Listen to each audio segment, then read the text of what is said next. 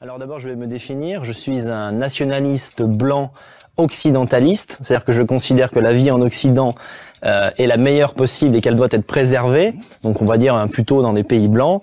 Euh, voilà, en, en, opposition avec le tiers-mondisme qui est un petit peu euh, euh très courant en fait dans le milieu euh, dissident, je trouve. Mais je reviendrai là-dessus. Euh, je ne suis pas un identitaire, Soral, quoique tu l'aies dit souvent sur Facebook pour monter ta petite horde de maghrébins contre moi. Je ne suis pas un identitaire. Commence à me parler poliment. Non, je ne te respecte pas, donc ça, ça n'a